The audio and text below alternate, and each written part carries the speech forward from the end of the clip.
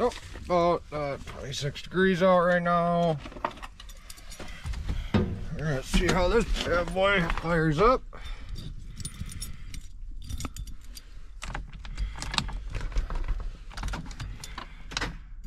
Oh.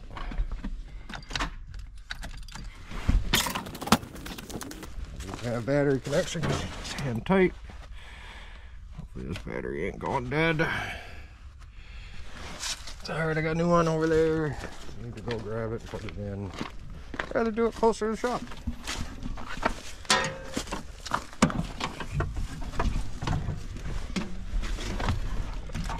Yeah, yeah. She dead.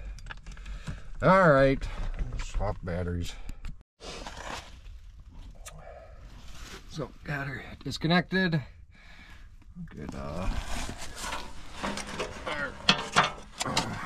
OE style clamp connector out. How are you secured?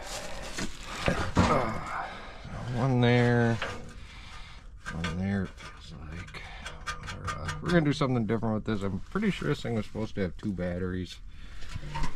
And we're just gonna throw one in it. Um, see, it's starting on fine.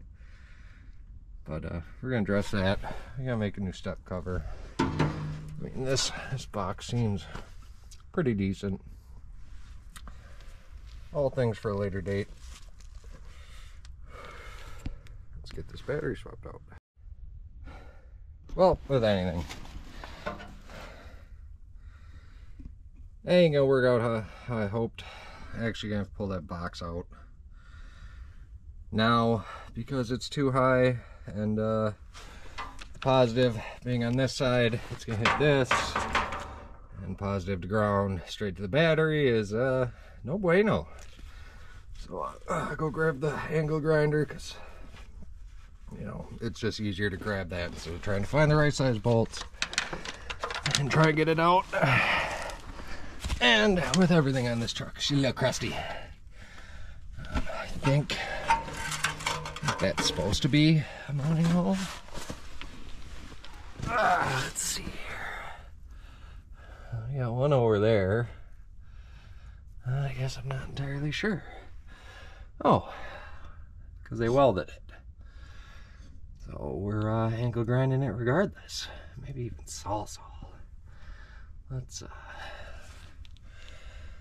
let's see what we can do here. So uh, the story on this truck is a it's a junkyard truck. It's a 2000 Chevy uh, C6500. Um, it was owned by a junkyard. I don't know when they purchased it. I worked there from uh, 2010 to 2011. Um, it had two batteries when I was working there. This was added at some point. Obviously, I believe it's just a regular car battery box that they welded on, as we can see. Um, as well as uh, the PTO was where it was supposed to be, instead of being a manual shift boot, sh shifter, whatever you want to call it. Um, so it was modified at some point. Um, the gentleman that purchased this from the junkyard when they shut down, um, he really didn't touch a whole lot of this. He just they just kind of ran it, uh, used it to pick up stuff, move stuff around. Um, didn't get a whole lot of use or abuse while they owned it, and then uh, it had the fuel issues, and that's when uh, it sat, and that was in 2020 was the last time it was registered, and it sat there. Um, and then we struck a deal here a month ago or so, brought it home, got it tagged. And so I'm gonna try and make this thing kind of a decent runner that I can use all my junk around. And, uh, make it nice again. As uh, I can haul my mud truck and my camper at the same time with this thing, which would be really, really sweet. So uh, I'm gonna see if I can get this in there, which appears if I can. So I brought the old sawzall, and we're gonna Let's see what we can do.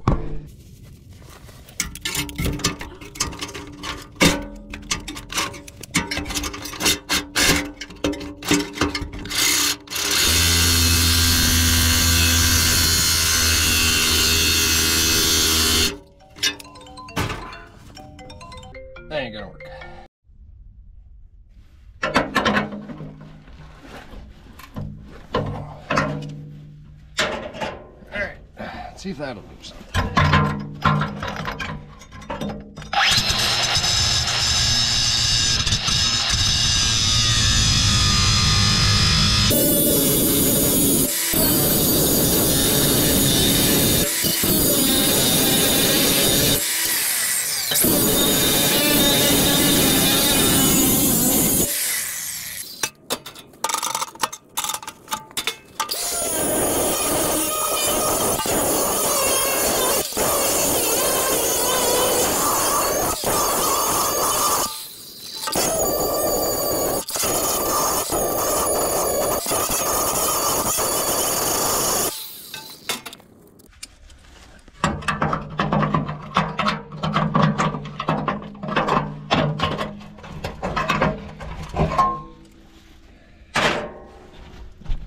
Worked much better. Now, we just got that guy there. Maybe it's gonna be that one right there. Maybe we will just go get, that's a 10, 10 or 12. But, uh, plate I'm using is this uh, Bad Dog Tools. It's supposed to last forever. Lifetime warranty, you can grind with it, you can cut with it. Um, had it for a couple months and absolutely abuse the crap out of it. And uh, instead of being afraid that it's going to blow up in your face, you can kind of abuse it and it uh, just keeps going. And uh, I'm just really impressed. I should be. It's like $200. But, uh, and I guess if it does explode, because it is metal. Um, it may hurt a bit more than your fiber disc, but we'll cross that bridge when we get to it. So, uh, yeah, I'm gonna go grab a grab a 10 and a 12, and we're gonna see if we can't get this press this bad boy off and get that battery in there. Of course, it's always gonna fall uh, farther than just being able to easily reach it.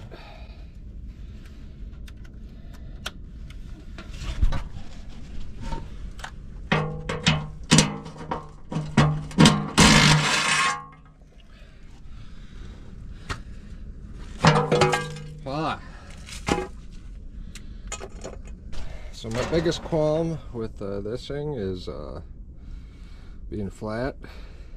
As a grinding disc, you end up not being able to get much of an angle. Uh, so she'll eat pretty good. Um, they do sell a cupped version, which brings it out a little bit farther. Um, had I known that at the beginning, I would have bought just one of those.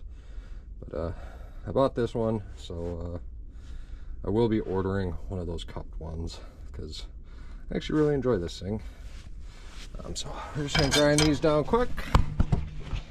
And then uh, throw that battery in there and see if this bad boy will fire up. Which it should. By the way, don't need to be cutting cables today.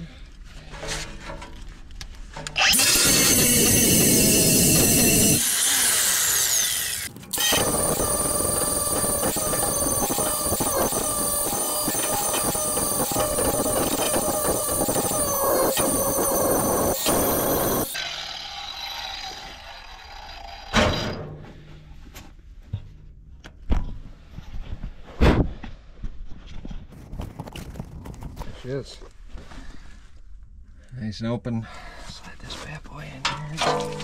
Cable somewhere. What else you got sideways? Sideways we want? Maybe that?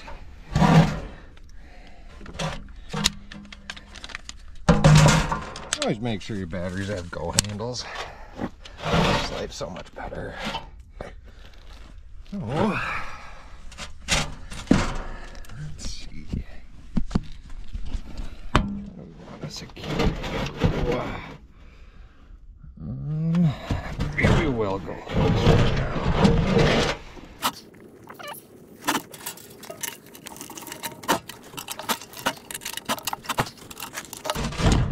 Good enough. For now. It ain't going on the road yet. Make something more permanent at some point. Okay, grab some tools. Those out of here. And let's use just start. Not a whole lot of that battery box left. And this all kind of for not, just as with pretty much every day. I have free. Ah, the ADD takes over, and I never. Oh. Do I actually have to tighten that?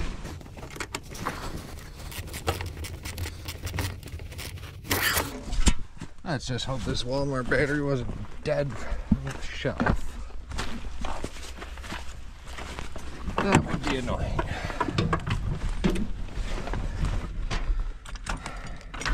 There we go. Not a frickin' problem.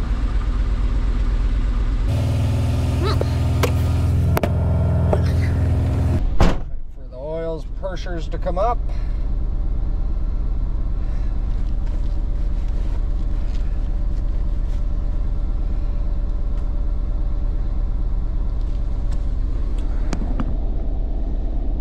Ping up here in about 10 seconds.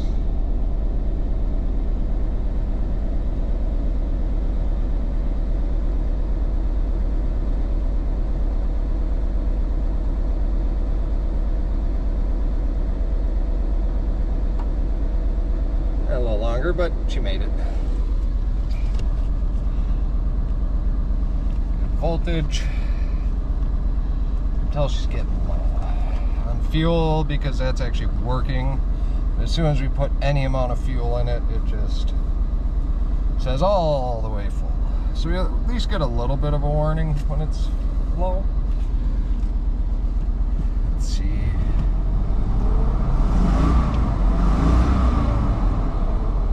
There's no ketchup on here, but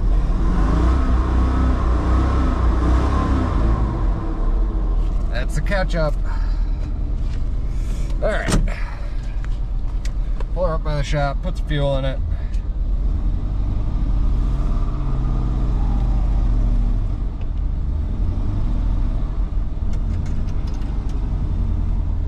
Hope I don't lose that truck. It'll be fine.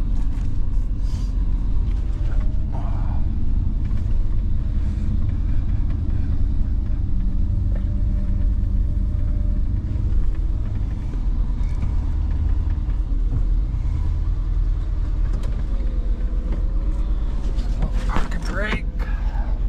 As always, see if we can't get this. First try, lucky day. Go buy a lottery ticket.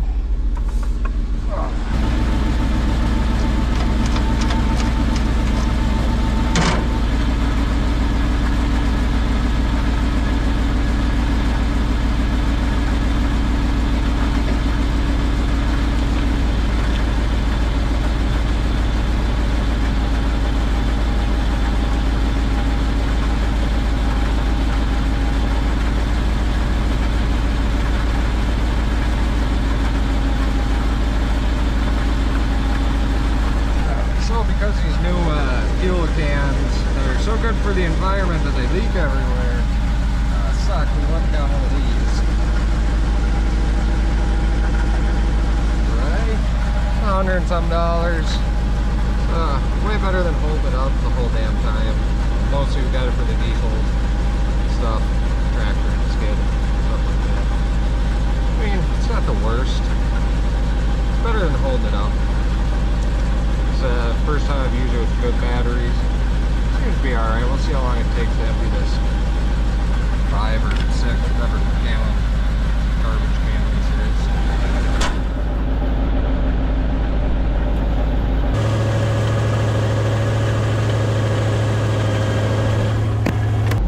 While we're doing that, let's look here and see what it does to that. Last time I put five gallons in it, it just went straight to full. Unless it's fixing itself, which would be awesome. And somehow the AC's on, so we're gonna turn that off. Better. Let's see what that fuel gauge does all the way to the left.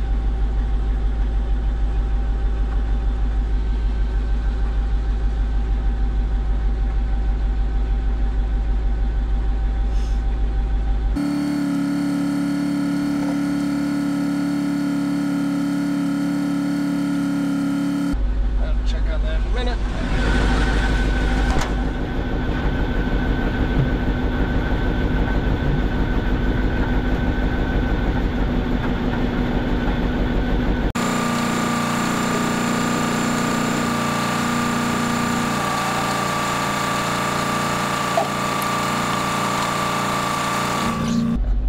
Well, it actually went down, so maybe it's working.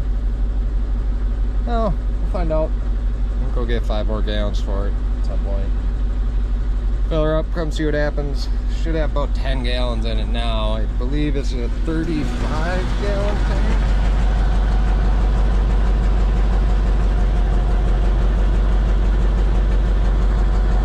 I'm not sure. Kind of hard to tell.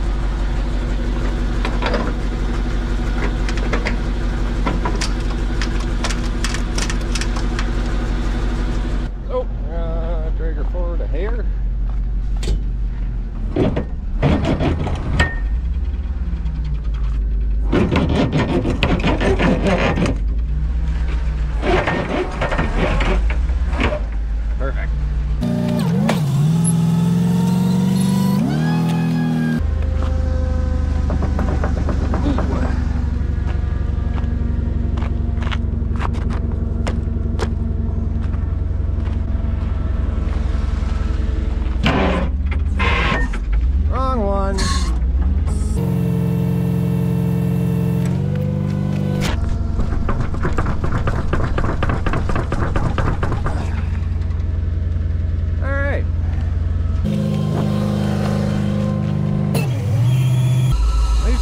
Up farther than that.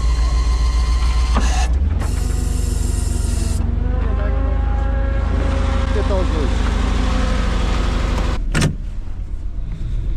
Get your parking brake, kids. You work on a rusty junk all the time, like I do. Get you a shorty hammer like that. And buy your lubricant by the case.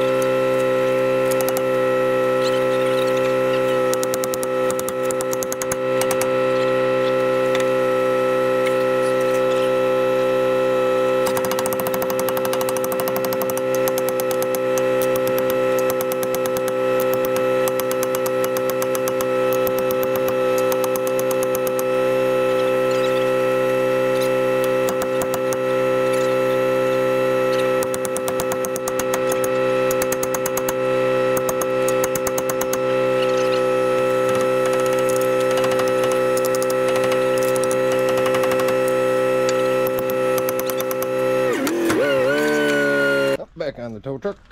Different day. Of course, I always get distracted. But what we're dealing with is uh, these are supposed to move, uh, and they don't. I'm assuming from sitting. Um, last owner, I don't think used the wheel lift a whole lot. Understandably so.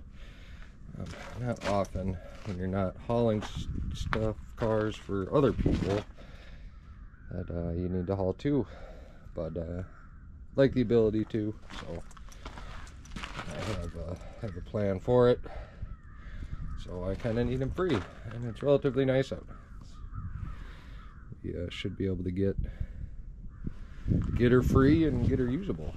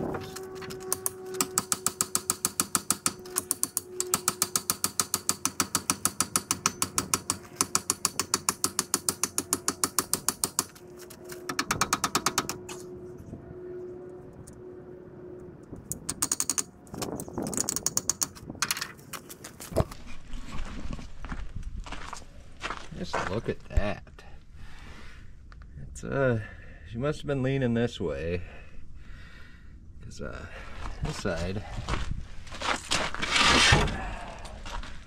not nearly as bad. That's pretty cruddy. This guy was froze up, unfortunately. And uh, so it's a twist. So you pull it out and it holds the pin out for the hell arm. And then you twist it in and it sets flat. Like that guy. And me being the brilliant person I am, was just kind of tapping her after we've lubed her. And uh, she broke off, so that'd be something I need to address. I'm pretty sure you can rebuild these. So, one more thing to fix. It's fine. Again, it's not going up on the road. She's just gonna be back and forth around here, so put in the door panel. If I can't, I will just re-weld it on there and hope for the best. But we're gonna goober up some more, slide her in and out, and call it good. That's about all we can do for now.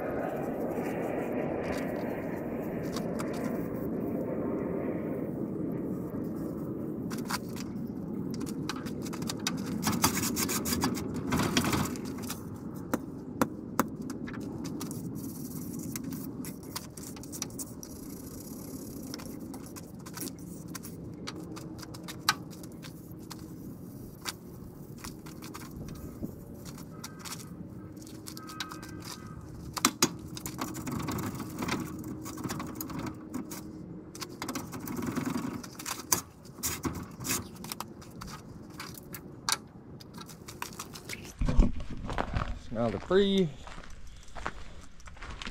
We'll start memory cards. We will start playing again.